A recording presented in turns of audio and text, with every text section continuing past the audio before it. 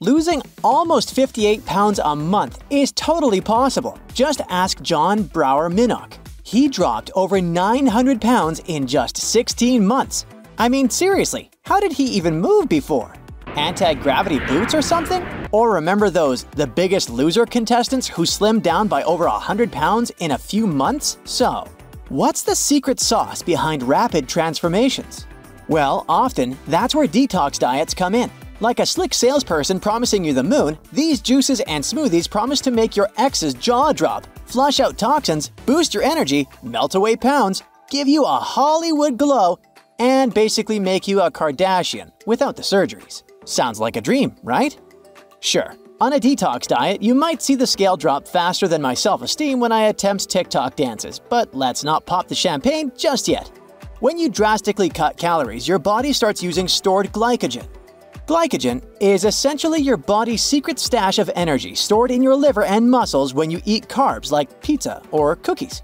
It's a backup fuel tank for quick energy boosts, packed with water.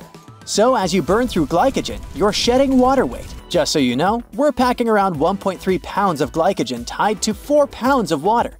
That's over 5 pounds of water weight. Now, let's say you stick with your low-calorie diet until your glycogen reserves are as empty as your kid's promises to defrost the chicken. That's when your body starts burning fat.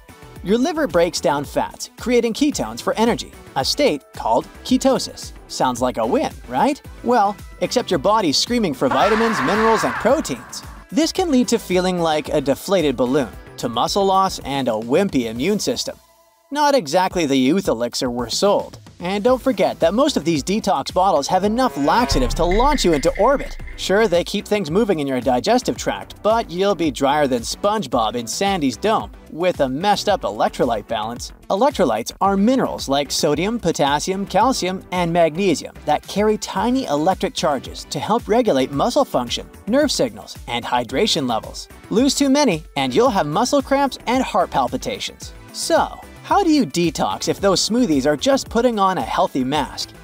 Your body's got you covered. Your liver, kidneys, lungs, and skin are on duty 24 7, detoxifying every inch of your body. Just give them a break from the junk food and booze and let them do their thing. But hey, don't toss those green juices just yet. Increasing your fiber intake with fruits and veggies can actually boost your digestion and gut health. But you don't need to survive on kale smoothies to get these benefits. Feeling like a million bucks is just a salad away. Just add some greens to your balanced meals. Going too hard on the calorie cutting can slow your metabolism, making it a Herculean task to keep the weight off long term. Your body becomes super efficient at storing calories, preparing for the next crash diet. So let's break it down with a pros and cons list. On the bright side, detox diets can help you cut out processed foods and focus on healthier eating habits. Quick weight loss can be a killer motivator, and all that extra fiber can keep your gut singing. Plus, it might give you a mental reset, making you feel like you're ready to take on the world with new, healthier habits. But don't ignore the downsides. Detox diets can lead to nutrient gaps, dehydration, and electrolyte imbalances, especially if you go to extremes. Most of that weight loss is just water and muscle, not the stubborn fat you want to lose.